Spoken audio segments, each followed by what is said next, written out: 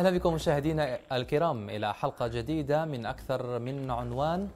بعد فتح قناة السويس مؤخرا اكتشاف جديد قد يجعل مصر تنضم إلى صفوف الدول الغنية وذلك بإعلان الحكومة المصرية وشركة إيني الإيطالية اكتشاف أكبر حقل غاز على الإطلاق في المياه المصرية العميقة في البحر المتوسط وهو حقل الظهر. المعلومات الأولية توضح أن الاكتشاف يحتوي على احتياطيات أصلية قد تغير من سيناريوهات الطاقة التي تتبعها القاهرة. بعد اكتشاف كنز مصر الجديد أسئلة عديدة طرحها المراقبون ونطرحها في هذه الليلة. ما هو حجم الغاز المتوقع في الاكتشاف؟ وما هي تداعياته على المواطن المصري وعلى الاقتصاد؟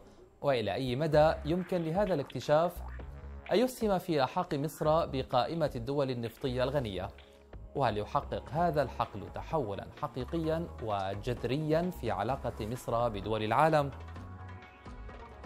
كل هذه الأسئلة والنقاط سنحاول الإجابة عنها في حلقة الليلة من أكثر من عنوان وعنوانها هل يغير اكتشاف بئر ظهر من خريطة الاقتصاد في مصر؟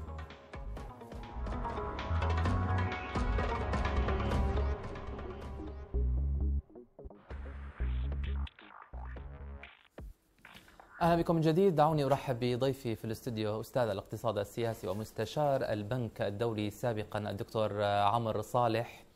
محمد أهلا وسهلا بكم. ستكون لنا وقفات كثيرة معكم في سياق أهلا. هذه الحلقة دكتور.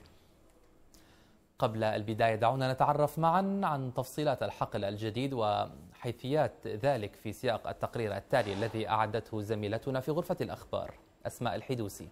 نتابع ثم نعود. اكتشافا في مصر وفي مياه البحر المتوسط قد يصبح من أكبر استكشافات الغاز في العالم. أكبر حقل غاز طبيعي في منطقة امتياز شروق في المياه الاقتصادية المصرية. ذلك الذي اكتشفته الشركة الإيطالية إيني هذا الاكتشاف سيشكل تحولا محوريا في قطاع الطاقة المصري إذ يحتوي حقل الغاز شروق على ما يقدر بثلاثين تريليون قدم مكعبة من الغاز الطبيعي في مساحة 100 كيلومتر مربع.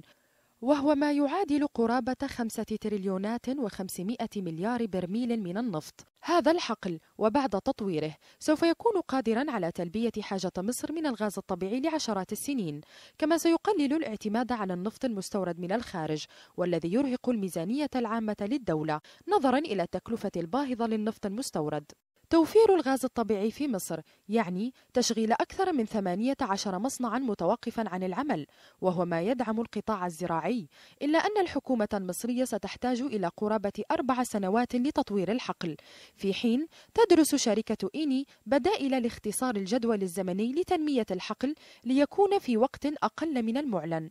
مشروع شروق يفتح آفاقا جديدة لاكتشافات أخرى إذ إن منطقة البحر المتوسط في مصر من أهم الأحواض الترسيبية الحاضنة للغاز الطبيعي على المستوى العالمي وإن هذا الاكتشاف قد يسهم في جذب مزيد من الاستثمارات لتكثيف عمليات البحث والاستكشاف لدعم الاحتياطات وزيادة الإنتاج التي توليها وزارة النفط أهمية في إطار سعيها إلى تأمين احتياجات البلاد من المنتجات النفطية والغاز الطبيعي. وبعد أن تعرفنا من خلال التقرير بما يتعلق بالاكتشاف المصري الجديد نخوض في تفصيلات هذا الملف أكثر مع ضيفي في الاستديو الدكتور عمر صالح محمد أستاذ الاقتصاد السياسي ومستشار البنك الدولي سابقا. أستاذ آه، عمر أهلا ومرحبا. آه، بكم بعيدا عن مسماك الوظيفي أو العلمي كمواطن مصري كيف تلقيت هذا الخبر خبر اكتشاف هذا الحقل الغاز الهام؟ بالطبع هو خبر سعيد آه، عندما بدأنا اليوم بقراءة آه، الأخبار في الصحف آه، العالمية وكانت معظمها أخبار ليست مبشرة وأنت تعرف الأخبار التي نمر بها في المنطقة. ونجد خبر اكتشاف هذا هذا البئر في الدولة المصرية دولة محورية لها أهميتها في المنطقة. وبالتالي أعتقد أن حتى ليس فقط على مستوى كوني مواطن مصري أو ليس على مستوى المواطن المصري لكن على مستوى المنطقة. نقرأ خبر سعيد في المنطقة بينما تمر المنطقة بأحداث مزعجة في بعض الأحيان. أعتقد إن هو خبر سعيد. تسألني عن الخبر أسألك عن شعوري كمواطن. طبعا هناك سعادة بهذا بهذا الخبر أو بهذا الاكتشاف. لا سيما أن حجم هذا الاكتشاف أو مخزون الاكتشاف قد يصل إلى 30 تريليون قدم مكعب ليرفع احتياطي مصر إلى 90 تريليون قدم وربما مكعب. هذه المعلومات ندخل بقى في التفاصيل العلمية. المواطن المصري العادي يعني يفرح بهذا الاكتشاف لكن الآن إذا أردنا أن ندخل ضمن خليني اسمح لي قبل ما ندخل في التفاصيل أقول لك ليه شعوري وشعور مجرد أنت تحدثت عن الشعور بغض النظر عن المسمى الوظيفي أو المهنة التي نمتهنها. لكن الشعور العام هو ليس فقط شعور بالفرح لمجرد أن هناك اكتشاف. خلينا نرجع بالأرقام إلى لا بعض, بعض بداية كمواطن بعض الأرقام كمواطن تمام. آه نحن في عام 2005 أنا تشرفت أن أكون في عام 2004 و2005 مستشار لوزير الدولة لشؤون البيئة في مصر. وكان هناك اكتشافات وكان هناك مخزون قوي للغاز الطبيعي وكنا في نشوة في الدولة المصرية والمواطن المصري سعيد أن هناك اكتشافات للغاز الطبيعي وكان هناك خطط حتى أنا أتذكر كنا نعمل على أن نكون سابع دولة على مستوى العالم تعمل في السيارات وتعمل السيارات على الأقل الأجرة والحكومية بالغاز الطبيعي. ما الذي حدث؟ بدأ أنا هرجع لك لهذا لهذا السؤال حتى أفهمك شعور المواطن. في السنوات التي تلت 2005 2007 وحتى ما قبل الثورة حجم الاحتياج وحجم ال ال الاستهلاك المحلي زاد سنويا بمقدار 7% 7% دولة تنمو بشكل كبير وصلنا إلى 90 مليون مواطن. كنا نحقق قبل الثورة رقم نمو اقتصادي يقارب 7.2 من 10% رقم كبير جدا 7.2 من 10% ورقم كبير.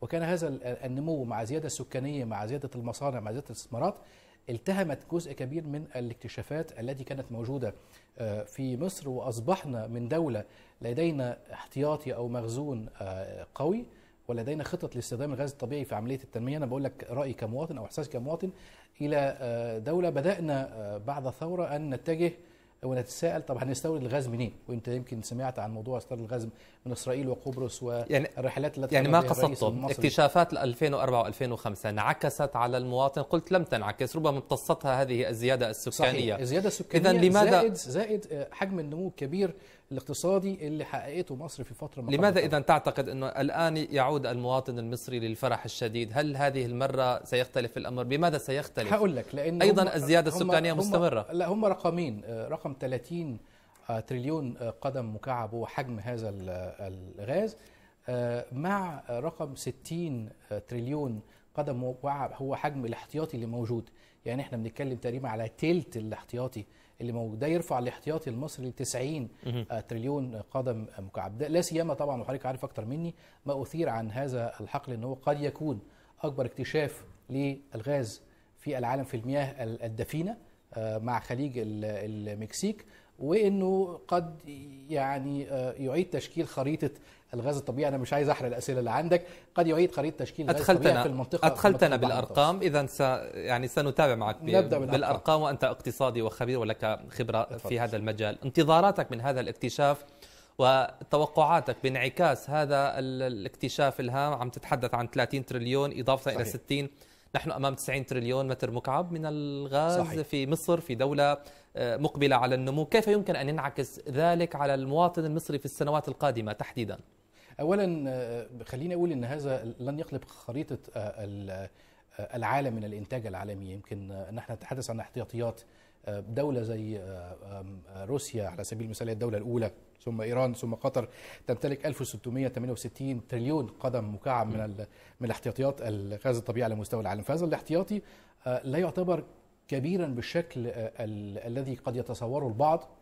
هو الأكبر من حيث الاكتشاف من حيث وجود بئر يجمع كل هذا الكم من, الغاز.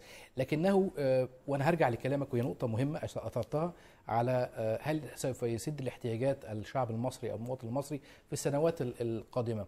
هيسد جزء من هذه الاحتياجات ويمكن التقرير أشار إلى أن الدولة المصرية قد قد تتجه إلى عدم استيراد النفط أو تقلل من استيراد النفط. أنا شخصيا ك خبير اقتصادي لا أعتقد لأن هذا البئر سوف يبدأ إنتاجه في 2018 هناك فترة تأهيل تشغيل. تشغيل وليكوفيشن عملية إن أستخرج الغاز وعملية تسهيل الغاز. سوف تستغرق وقت وهناك تكلفة لسنوات. سوف يسد هذا الغاز أو هذا الحقل كما قيل احتياجات مصر التقرير اشار إلى 10 سنوات. أشارت بعض التقارير إلى عشرات السنوات فأنا لا أعتقد أن هذا الحقل سوف يكون تحول في خريطة الاقتصاد المصري ولكنه هيكون تحول في سد جزء مهم. أنا بقول سد جزء مهم خلينا بتكلم بشيء من التفصيل وبحط خطوط تحت بعض الكلمات ما بين أقواس. سوف يسد جزء مهم من الاحتياجات المصرية لا سيما يمكن حضرتك تفتكر إن في الفترة الماضية كان الرئيس عبد الفتاح السيسي كان زار الجزائر وكان هناك اتفاقيات مع سوناتراك ومع روسيا ومع قبرص لسد احتياجات مصر من الغاز الطبيعي. نعم وبالتالي عندما تسد الاحتياجات اذا هناك وفر سيكون في يعني ميزانية الدولة ونفقات الدولة. ستنعكس آه ستنعكس. الأمر. وخليني اول لك كمواطن مصري يعني أنا أعرف مصر يعني تقريبا يعني تقدر تقول لكن أقول لك هيسد احتياجات في إيه؟ وهيدفع أي قطاعات اولا كان هناك خطط قبل الثورة في استخدام الغاز الطبيعي في عدد من المجالات منها السيارات. وكان قلت لك كان لدينا خطط أن نكون سابع دوله على العالم في استخدام الغاز الطبيعي في في السيارات على مستوى العالم. كان هناك خطط طموحة لتسييل الغاز الطبيعي وتوصيله إلى المنازل وكافة المنازل في مصر استخدام الغاز الطبيعي زي ما أشار التقرير في المصانع والمناطق الصناعية يمكن عدد من المناطق الصناعية توقفت وكان هناك أزمة للطاقة في السنوات الماضية.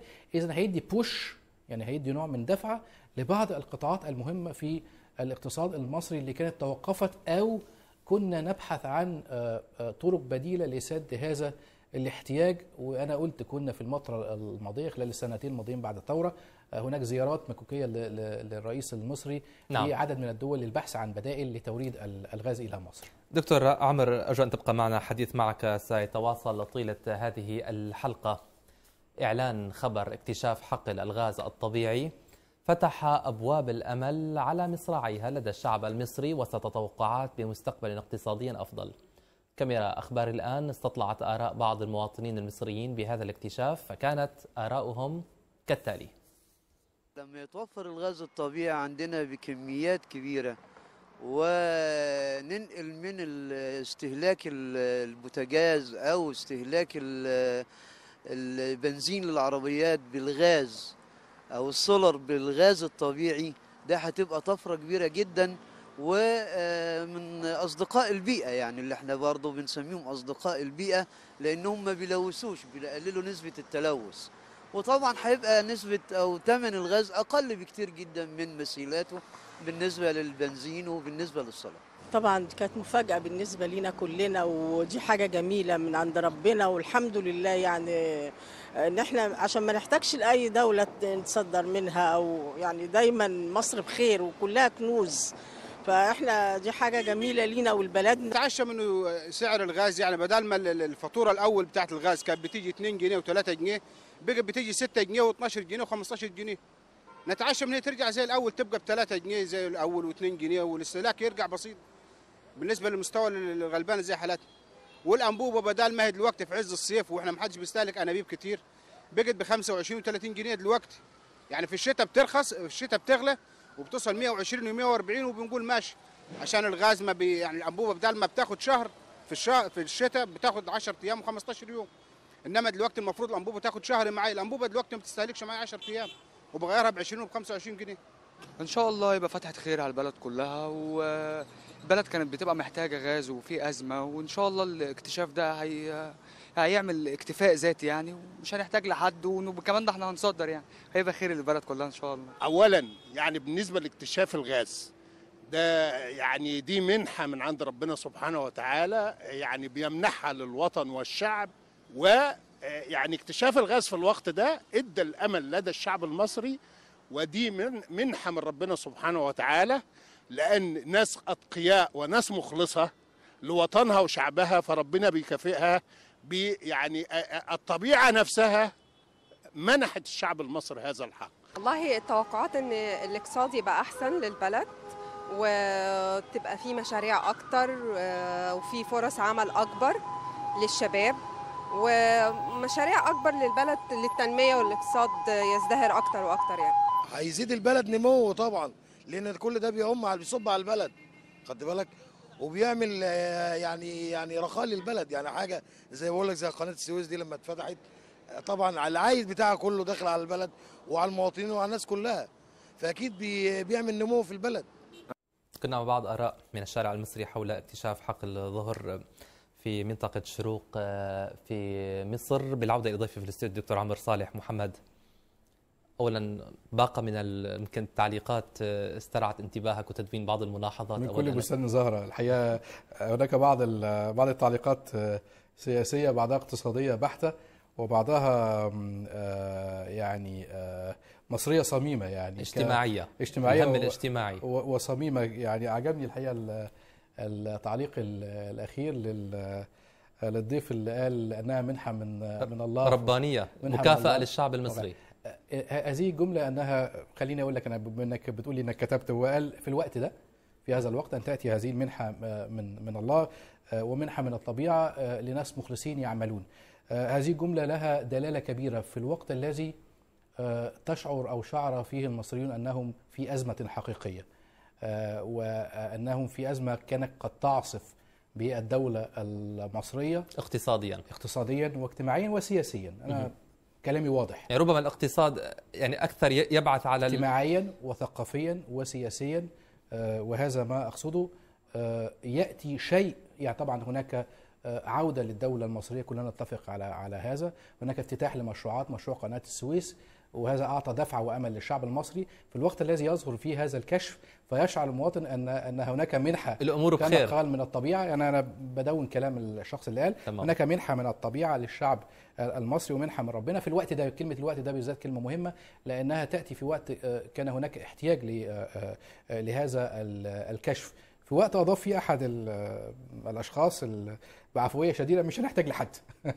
أنا زي ما قلت لحضرتك كان هناك يعني مفاوضات مع بعض الدول لاستيراد الغاز في الفترة الماضية وبالتالي شعور المواطن لا يريدون التبعية لا يريدون أن يربطوا مستقبلهم لا بأي أي دولة أهواء أن أخرى. تكون تابعة لدولة أخرى وبالذات يعني أنت اسمح لي أكون أكثر صراحة. انت تتحدث عن دولة مصرية دولة قوية لها تاريخها ولا تراثها ولها قوتها يجب أن تكون مستقرة أيضا اقتصاديا. مصر بالذات لها قوة الشخصية التاريخية المتأصلة في جذور التاريخ. وبالتالي يشعر المواطن أن هذه منحة من الله سبحانه وتعالى للدولة التي كانت تعاني لفترة وأصبحت يعني تتقدم بشكل بشكل جيد. هناك البعض قال أنه سوف تكون هذه هذا الاكتشاف توفير للغاز الطبيعي بأقل من الأسعار العالمية، أنا لا أعتقد إنه سوف يكون أقل من الأسعار العالمية إلا إذا كانت هناك سياسة. وطبعا هنشوفها لاحقا ما هي السياسة التي سوف تتبع في هذا الاكتشاف، إحنا كنا سابقا في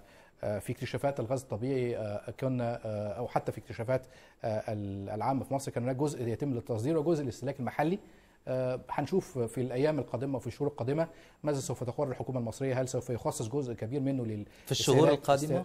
في الشهور القادمه طبعا لما يطلع أنت قلت يعني بال 2018 ثم مرحلة لا الغاز هيطلع في 2018 الاستهلاك الفعلي في 2018 إنما سوف تكون هناك سياسة. السياسة آه سوف السياسة نعم. آه تحديد سياسة.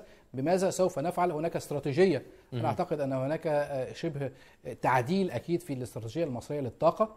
جزء منها يعتمد على هذا الغاز. سوف نرى هل هذا الحقل هذا الاكتشاف ال 30 مليون هل سوف 30 تريليون كيف سيتم توزيعه سوف يتم والاستفادة؟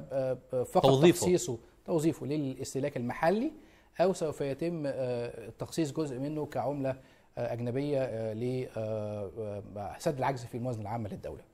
ربما كمان أيضا حجم الحديث عن هذا الحقل سوف يفتح فرص عمل سوف يزيد من معدلات النمو سوف يزيد أيضا من المشاريع في مصر. هل هو يعني أمنيات شعبية فقط أم احتياجات؟ أم فعلا يمكن أن تتحقق كل هذه الثورة والنهضة التنموية في مصر من وراء هذا الاكتشاف؟ الموضوع أنا مبالغ أنا به هكون يعني؟ أنا هكون أم يعني حقيقي؟ صريح و و و ولا أعتمد على ال على ال على المشاعر فقط.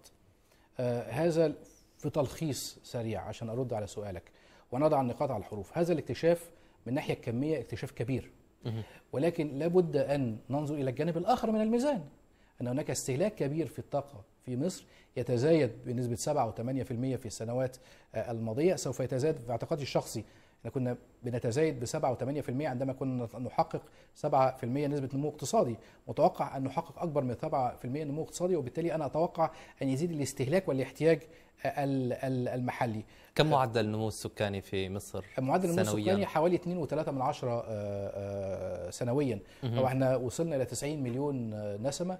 هذا رقم آه، كبير في وقت انخفض فيه نسبة النمو الاقتصادي من 7.2 من 10% ما قبل الثورة إلى حاليا يقارب 3 في نعم. آه، المية آه، مستمرون معكم دكتور عمرو أرجو أن تبقى آه، معنا ونتعمق أكثر في ملف الغاز الطبيعي المصري وعلاقته بتوطيد العلاقات بين مصر ودول العالم نناقش هذا الملف أيضا الحيوي مع ضيفي عبر الأقمار الاصطناعية من العاصمة المصرية القاهرة الدكتور سعيد الويندي خبير العلاقات السياسية الدولية طبعاً. بمركز الأهرام للدراسات السياسية.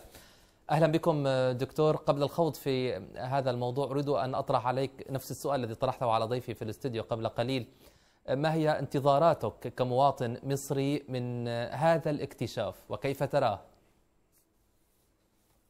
تحياتي اولا للدكتور عمرو صالح وهو صديق عزيز وتحياتي لكم. لكن في الواقع أرجو أن تعتقد أن هناك أمل كبير جدا في أن هذا الاكتشاف الخاص بالغاز الطبيعي سيغير وجه مصر تماما. لن تعد دولة زراعية طويلة والقطن فيها طويل التيلة كل هذه الأشياء نحترمها جيدا ونقدرها وقد أمضت معنا فترة من الزمن. لكن المرحلة المقبلة أعتقد أنها مصر ستكون دولة مصدرة سواء بسواء إلى حد ما مثل بعض الدول الخليجية أو بعض دول العالم. إن صح التعبير لكن بشكل أو بآخر أعتقد أن هذا الاكتشاف كما قال الدكتور عمرو نقلا عما قاله أحد المواطنين هذه منحة سما- سماوية جاءت للشعب المصري. وحتى الرئيس السيسي قبل فترة تكلم عن هذا الموضوع. أيا كان الأمر أعتقد بشكل أو بآخر أن هذا الغاز الطبيعي الذي سمي شروق يعني آه، بعض الدراسات أكدت أن هذا أول الغيث ثم سيأتي بعد ذلك مطر كثير. معنى ذلك أن هناك آه، يعني حقول كثيرة يمكن أن آه، تظهر لاحقا كما قالت شركة أمني الإيطالية التي تهتم بالموضوع. أيا كان الأمر أرجو أن تعتقد أن كل الناس فرحة تماما. البعض يرى أن هذه يعني رضا من الله سبحانه وتعالى أن تتفجر في الأرض في مقابلة قبالة البحر المتوسط وبالقرب من يعني محافظة رشيد أعتقد بشكل أو بآخر أن الكل فرح لأن كما قلت في البداية وجه مصر الحقيقي سيتغير تماما وأعتقد أن مدن القناة والبحر المتوسط والبحيرات المرة وأشياء كثيرة جدا يعني فرح بال المصريين عندما حفروا بسواعدهم وأفكارهم قناة السويس الجديدة. لكن هذا الحقل سيغير وجه مصر تماما. نعم آه، نتمنى ذلك دكتور. وفي سياق الحديث أيضا عن العلاقات ال- المصرية وتغيير وجه مصر أمام العالم ماذا عن هذه العلاقات مع دول العالم؟ كيف يمكن أن أن يكون هذا الاكتشاف وسيلة لتوطيد هذه العلاقات بين مصر ودول العالم وأوروبا خاصة سياسيا واقتصاديا؟ وهل يمكن لهذا الاكتشاف أن يغير من خارطة العلاقات الدولية مع مصر؟ أنا أعتقد أنه سيغير لأن مصر بالأمس لن تكون مصر غدا. مصر تجمع بين جناحين جناح زراعي وجناح اقتصادي أو جناح صناعي. بمعنى آخر موارد طبيعية. موارد طبيعية تنقسم أقسام عديدة جدا. أعتقد الجانب الزراعي والجانب الصناعي أو جانب الثروة المعدنية بشكل أو بآخر ستتفجر أو تفجرت في مصر وبالتالي هذه الدول ستتعامل مع مصر بمنطق آخر. منطق المصالحة معنى أن هناك دول حتى في أمريكا اللاتينية تصدر الغاز الطبيعي وهناك دول خليجية تصدر الغاز الطبيعي. مصر أيضا ستكون في هذا. أرجو أن تعتقد أن إحدى الدراسات التي قمنا بها آه، في الأهرام تتكلم عن أن مصر في هذه الحالة وبعد ثلاث سنوات عندما تصدر الغاز ستطلب الانضمام إلى يعني منظمة أوبك. ولماذا لا؟ مصر تغير من نفسها وبالتالي هذا التغيير من الذات سيجعل الدول التي تتعامل مع مصر ستغير نفسها أيضا وأعتقد بشكل أو بآخر أن اكتشاف الغاز الطبيعي سيغير من علاقات مصر مع الدول الدول الاقليميه والدول والقارات باعتبار أن الرئيس السيسي زار يعني إفريقيا ثم أوروبا ثم آسيا أعتقد بشكل أو بآخر مصر اليوم إيه، لن تكون مصر غدا. نعم وهذا التغير في العلاقات نحو أكثر من أكثر ترابط. يعني دكتور تتوقعه للأيام والأشهر والسنوات القادمة. اليوم نحن نتحدث فتح قناة السويس مؤخرا الفرع الثاني إن صح التعبير كما أشرت إليه قبل قليل. الآن اكتشاف هذا الحقل الغازي الهام. هل من الممكن أن نتحدث عن ترابط استراتيجي قادم بين مصر والضفة الأخرى من المتوسط الضفة الأوروبية في ضوء هذه المستجدات؟ أنا أعتقد أن مصر حريصة جدا على إحداث صلة بين الدول المشهدة للبحر المتوسط شمالا مع الدول المشهدة للبحر المتوسط جنوبا ولن يحدث هذا إلا من خلال يعني عنفوان وزخم تتمتع به مصر من الناحية الزراعية من الناحية المعدنية. أعتقد بشكل أو بآخر أن هذا الحقل الذي يشعر به عدد كبير جدا. كنت قبل فترة أتكلم مع أحد المحافظين الوزراء الذين يوجدون في منطقة قناة السويس تكلم عن القناة بشكل غير عادي بمعنى أن مصر التي يراها الآخرون لن تكون مصر كما كنا نقرأها في التاريخ القديم أو المتوسط أو الحديث أو المعاصر. وإنما مصر الحديثة مختلفة تماما. وأعتقد أن هذا الحقل أرجو أن تعتقد طوابير طويلة جدا في البنزينات تريد أن تغير تغير حتى استخدام البنزين وتريد أن يكون الغاز هو المسيطر.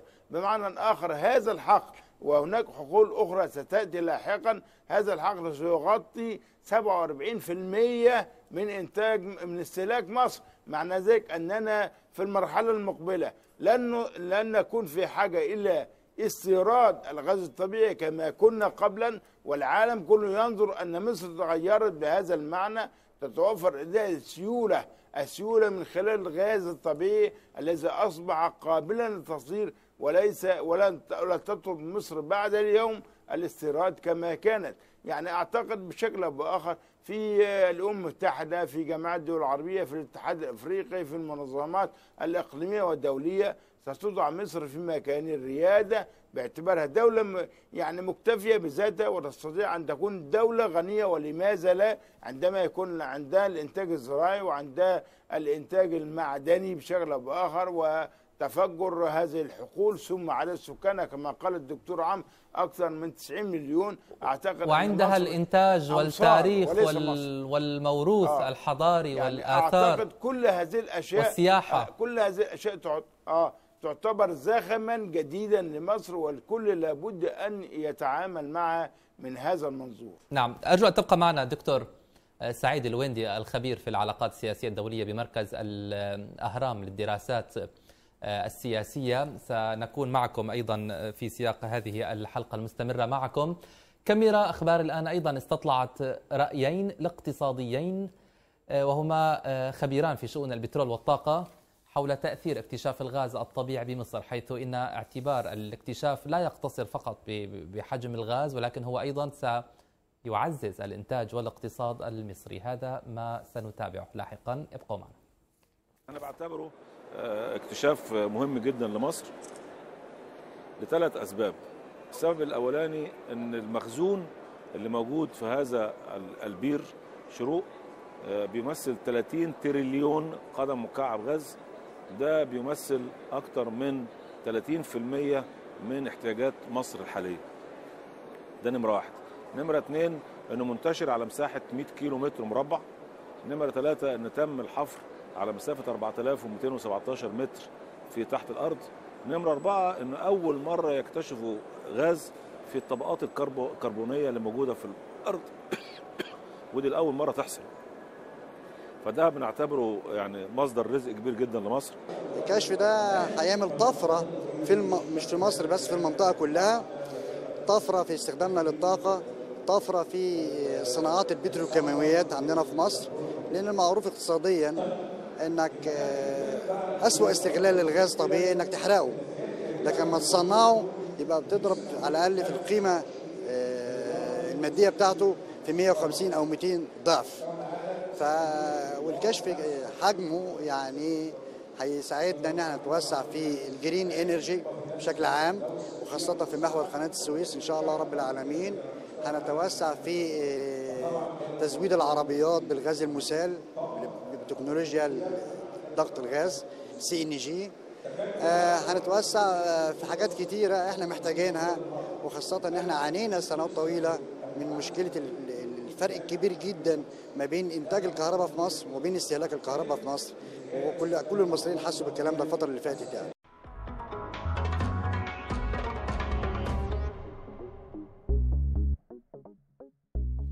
ملف حقل الظهر من الناحية الاقتصادية نتحدث فيه بالتفصيل في سياق هذه الحلقة ونواصل الآن الحديث عن ملف هذه الحلقة من زاوية أخرى مع آه، ضيفي الدكتور سعيد اللويندي خبير العلاقات السياسية الدولية بمركز الأهرام للدراسات السياسية. آه، دكتور آه، سعيد أنباء تحدثت مؤخرا عن إمكانية اكتشاف حقول غاز جديدة شمال شرق وشمال غرب المتوسط وربما أشرت إلى ذلك في سياق حديثك قبل قليل. ما هي الإمكانات ال- المتاحة وكيف سيؤثر ذلك كذلك على مسار العلاقات ال- ال- المصرية. آه، هل هناك معلومات علمية أم فقط أمنيات ورغبات وآمال يبنيها المصريون؟ هناك دراسات كثيرة جدا آه، يعني قاموا بها أو قامت بها الشركة الإيطالية بالإضافة للشركة المصرية التي تعمل في مجال الغاز. أكدت بشكل أو بآخر أن مصر تعيش مرحلة كلها إنجازات. هناك إنجاز يتعلق بقناة السويس الجديدة. هناك إنجاز يتعلق بشبكة الطرق والكباري. هناك إنجاز يتعلق بثلاث ملايين فدان تم استصلاحهم وأعتقد أن يعني رأس التاج بهذه بهذا المعنى تغير أسلوب الطاقة بشكل أو بآخر الموجود في مصر. لكن على حال أعتقد أن الآبار الأخرى أكدت الدراسات أنها يمكن أن يتم اكتشافها لاحقا. لن يكون ال- البئر الذي تم اكتشافه هو الأول أو الأخير وإنما قد يكون الأول لكن لن يكون الأخير بأي حال من الأحوال. وأعتقد أن الدول الأخرى ستتعامل مع مصر ككتلة واحدة. يعني كل هذه الإنجازات أو مصر الإنجازات أو مصر الجديدة كنا قبلا أرجو أن تعتقد كنا قبلا نتحدث عن محمد علي مؤسس مصر الحديثة. لن نتحدث بعد اليوم. مصر التي كانت في زمن محمد علي ليست هي مصر التي نعيش فيها. مصر التي كانت في زمن طه حسين مثلا لن تكون مصر التي نعيشها حاليا في نهاية في أوائل القرن الواحد وعشرين وهذا أمر طبيعي جدا. لكن يخدمنا في هذا الموارد الطبيعية التي تفجرت بشكل أو بآخر وحتى صور معينة من الإنتاج ستختلف تماما.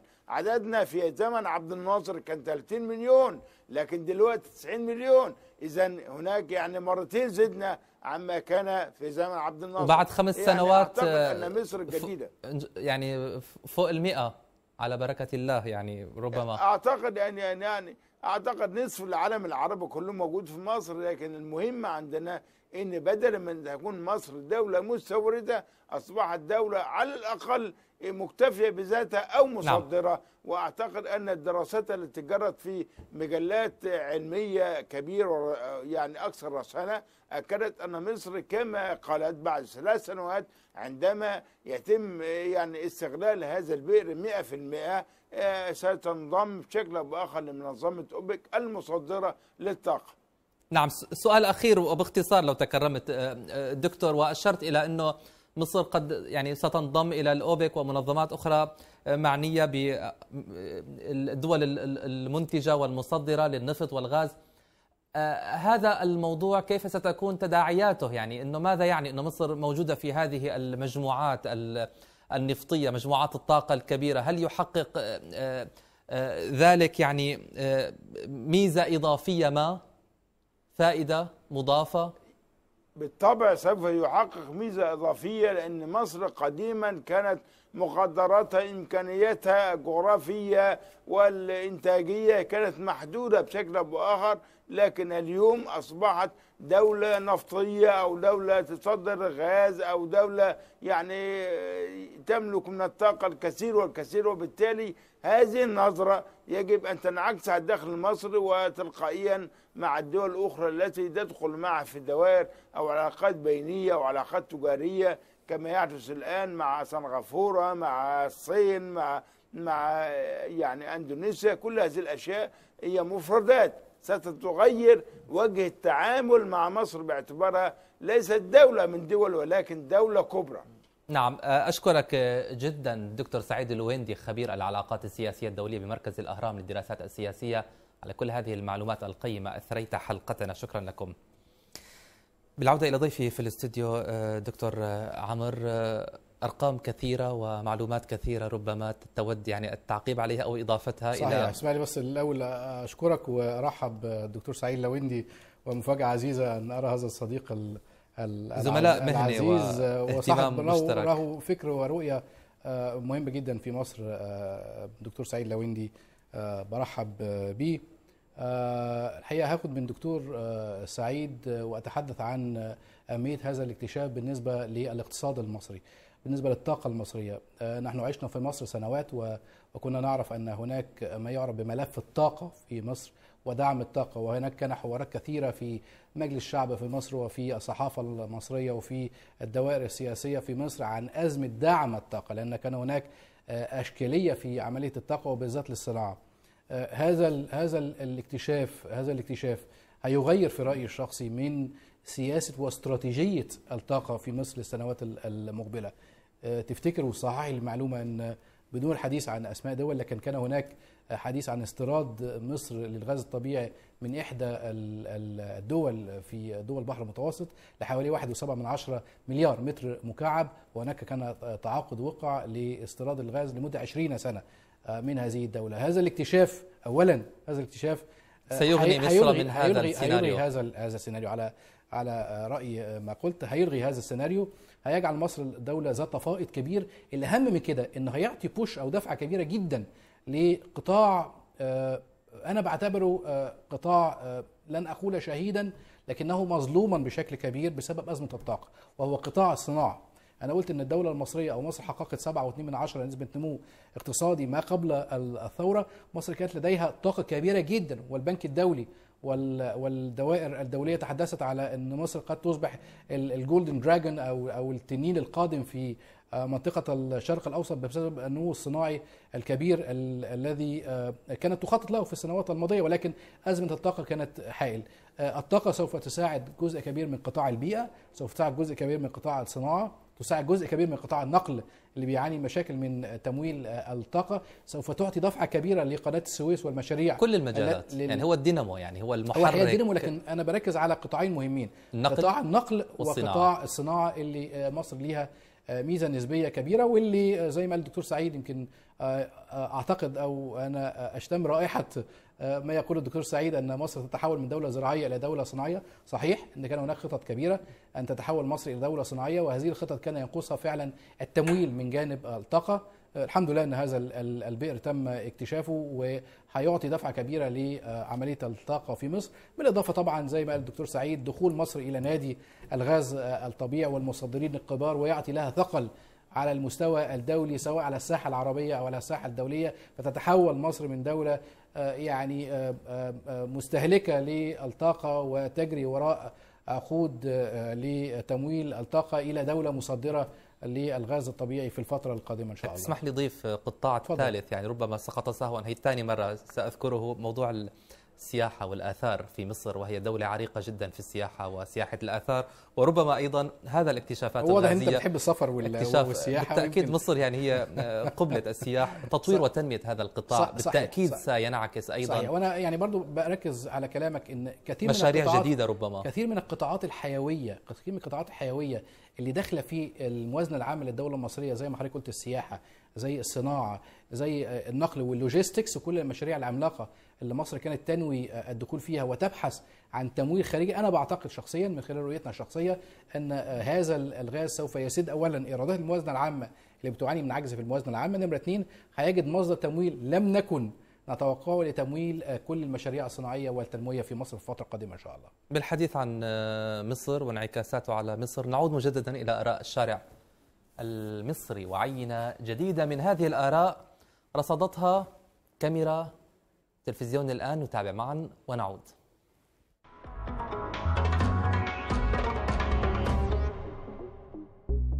بالطبع السريع لأن الاكتشاف مجرد إن إحنا اكتشفنا مش خلاص كسبنا لا اكتشفنا فنبدأ نستخرج فنبدأ نصنع فنبدأ نصدر فنبدأ نودي الشركات فنبدأ يجيب الربح بقى. كل ده بعد بعدين. زيها زي أي مشروع آخر بنعمله مثلا دراسة جدوى. دراسة جدوى ديت مكسبها مش في وقتها الحالي لكن فيما بعد مثلا على الأقل عام. عام نبدأ نتكلم في أرباح وخسائر. اقتصاديا تهيألي ل- هتاخد وقت شوية. بس إن شاء الله هنجني ثمار ال- الحاجات المشروعات العظيمة دي الكبيرة مش دلوقتي قدام شوية إن شاء الله بإذن الله تعالى. إحنا استحملنا كتير. آه ما جاتش من كام سنة دولت إن شاء الله. ربنا يكرم بإذن الله تعالى. اكتشاف الغاز على المستوى الاقتصادي هيكون مؤجل شوية لكن المصريين محتاجين دعم معنوي وروح بثت في ال- في الناس انه إنه يكون في حاجة جديدة حلوة لمصر وليهم. يعني إحنا على المستوى المعنوي إحنا فرحانين أكتر من إنه هيعود علينا ماديا. ممكن يعود علينا ماديا بعد بعد فترة لكن إحنا حقيقي فرحانين وعندنا طاقة آه، للعمل أكتر وأمل لأولادنا ولشبابنا. ويطرح المواطنون المصريون آه، كما شاهدنا نقطة هامة وبدوري نطرحها على ضيفي في الاستوديو الدكتور عمرو آه، صالح محمد. هل يتطلب استخراج وإنتاج آه، الغاز وربما أشرت إلى ذلك قبل قليل وقت طويل. يعني الكل يسأل عن مفعول هذا ال- ال- الحقل انعكاسات هذا الحقل. متى يشعر المواطن المصري بكل هذه الوعود والعلمية والآفاق التي طرحتها حضرتك ومن قبلك آه، ضيفنا من القاهرة؟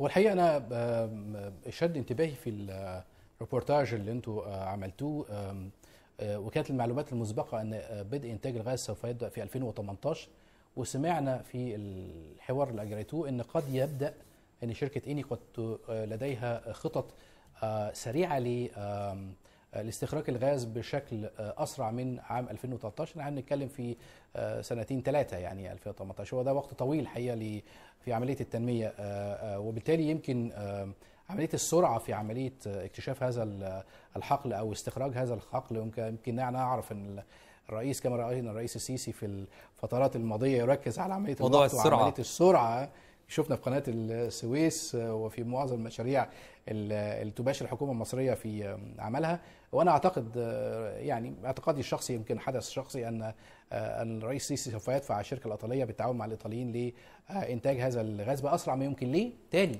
لأن إحنا لدينا مشكلة في الموازنة العامة للدولة لدينا عجز في الموازنة العامة كان قد يتزايد في الفترة الماضية وبالتالي تحتاج آه، مصر إلى آه، عملة أجنبية بشكل آه، بشكل سريع. وبالتالي استغراق الغاز هيوفر عملة أجنبية ده نمرة واحد. نمرة اتنين زي ما أنا قلت عندنا طاقة إنتاجية آه، رهيبة أنا بعتبرها رهيبة. لو حضرتك شفت آه، أو رحت آه، مصر أنت اتكلمت على السياحة شكلك طبعا رحت مصر كذا مرة. القاهرة فقط. القاهرة لكن أنا بتكلم على مصر أنا بتكلم على مدينة 6 أكتوبر الصناعية ومدينة العاشر من رمضان ومشروع آه، آه، المشروعات في آه، السويس آه، والعين السخنة آه، كل هذه المشاريع الصناعية. وحتى في مدن صناعية كثيرة والمدن الحرة في مصر كل هذه المصانع اللي تحتاج إلى طاقة الآن. الآن وليس وليس غدا. وبالتالي آه، هي ضخ آه، هواء وليس ضخ فقط آه، طاقة في مصر هي عملية ضخ هواء في رئة الصناعة المصرية. وأعتقد أن ده سوف يتم بشكل سريع. نمرة ثلاثة أنا بعتقد زي ما قلنا أن ده هيغير في خريطة الطاقة المصرية. خريطة الطاقة المصرية استهلاكا وتصديرا.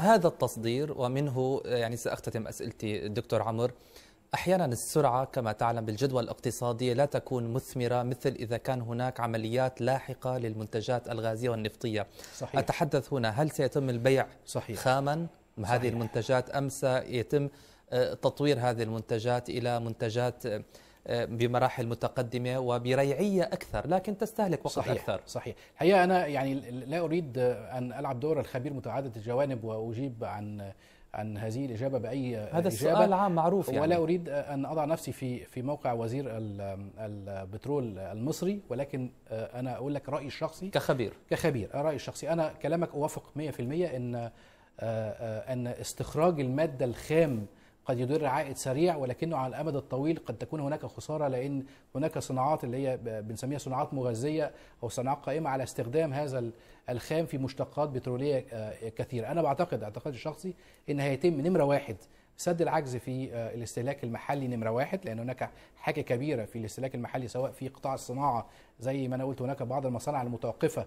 هذا ال ال ال هذا ال ال الغاز هيأتي آه، لإعادة تشغيل جزء من الصناعة المصرية. حد يقول لي هو الصناعة المصرية متوقفة؟ لا مش متوقفة بشكل كبير لكن أسعار الطاقة أنا بعتقد إنها قد تنخفض أو ستؤثر بالايجابا على آه، ال- الصناعة المصرية من خلال تخفيض آه، ال- تكاليف. التكاليف الطاقة. وده هيدي نوع من البوش أو يدي تنافسية أكتر للصناعة المصرية. ده نمرة واحد. نمرة اثنين قد يستخدم هذا ال- الكشف آه، أو عوائد هذا الكشف في سد جزء من ال- الموازنة العامة للدولة اللي تحتاج إلى آه، مليارات من الدولارات لأن إحنا مرينا بفترة ركود آه، اقتصادي ومش عايز أقول ركود يعني مرينا بفترة توقف النشاط الاقتصادي لو لو كنت رحت مصر في في أيام الثورة كانت فترة الحقيقة آه، آه، يعني فترة أنا أقول إنها فترة سوداء والكل يعلم آه، توقف شبه كامل للأنشطة الاقتصادية آه، وبالتالي كان هناك خسائر كبيرة في آه، الموازنة المصرية وفي نعم. الاقتصاد المصري هذا الاكتشاف آه، سرعة زي ما حضرتك بتقول سرعة استخدامه سوف يؤدي إلى تمويل جزء كبير من الخسائر التي مرت بها مصر خلال